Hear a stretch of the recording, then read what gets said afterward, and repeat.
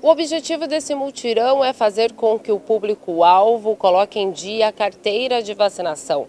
A meta é atrair a população neste sábado, dia 30 de abril, nas 18 unidades básicas de saúde do município e nas unidades da família. As unidades estarão abertas das 8 às 14 horas. As únicas unidades que estarão fechadas é a unidade do Boa Vista, Jardim das Flores e Benjamin de Castro, por motivo de reformas.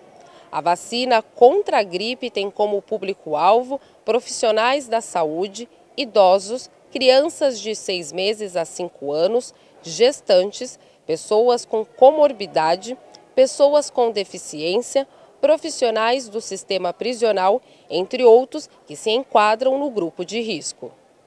Já a campanha contra o sarampo é direcionada a crianças de seis meses até cinco anos de idade e aos profissionais da saúde. Segundo a Fundação Municipal de Saúde, um levantamento divulgado nesta semana apontou que somente 22% do público-alvo tomou a vacina contra a gripe.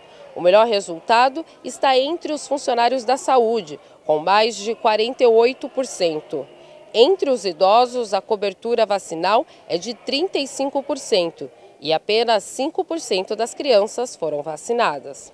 Em relação à vacinação contra o sarampo, somente 621 crianças e 30 profissionais da saúde tomaram a dose recomendada pelo Ministério. Em 2021, nenhum estado brasileiro atingiu a meta de vacinação contra o sarampo em crianças. Lembrando que esta é uma doença altamente contagiosa.